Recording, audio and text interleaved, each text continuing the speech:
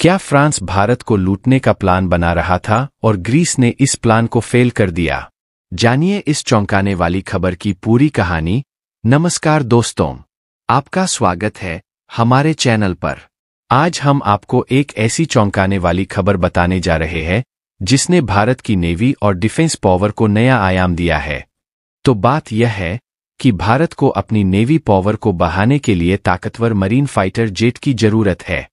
इसके लिए हम फ्रांस से 26 राफेल खरीदने की बातचीत कर रहे थे, लेकिन फ्रांस इसमें भारत को लूटने की कोशिश कर रहा था और इसके लिए दुगुनी कीमत मांग रहा था। लेकिन दोस्तों, इसी बीच ग्रीस ने भारत को सस्ते मरीन फाइटर जेट दिलाने में बहुत बड़ी मदद करने के लिए मैदान में कूद चुका है। हाल ही में भारत और ग्रीस ने एक ज्वाइंट एक्सरसाइज कंडक्ट किया था जिसमें भारत के पहले से खरीदे गए राफेल फाइटर जेट्स ने हिस्सा लिया था। इसी दौरान ग्रीस ने भारत के लिए एक बहुत बड़ा और यूनिक प्रपोजल पेश किया। ग्रीस ने भारत को प्रपोजल दिया कि वह भारत को सस्ते दामों में राफेल मरीन फाइटर जेट दिलाने में मदद करेगा।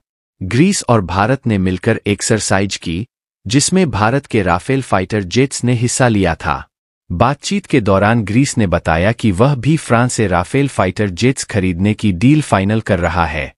ग्रीस ने प्रस्ताव रखा कि दोनों देश मिलकर फ्रांस के साथ नेगोशिएशन करेंगे जिससे फ्रांस द्वारा मांगी जा रही दुगुनी कीमत कम हो जाएगी।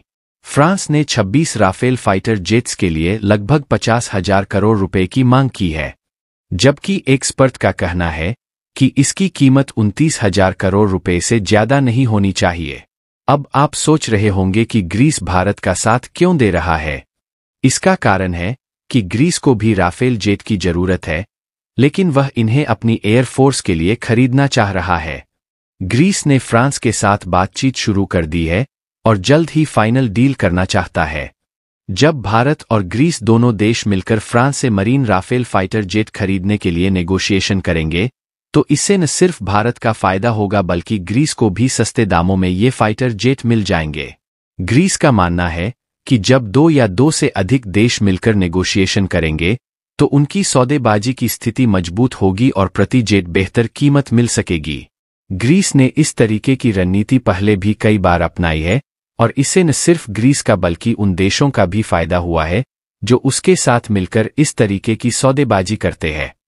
अब भारत और ग्रीस मिलकर फ्रांस से सस्ते राफेल प्रोक्योर करने की तैयारी कर रहे हैं।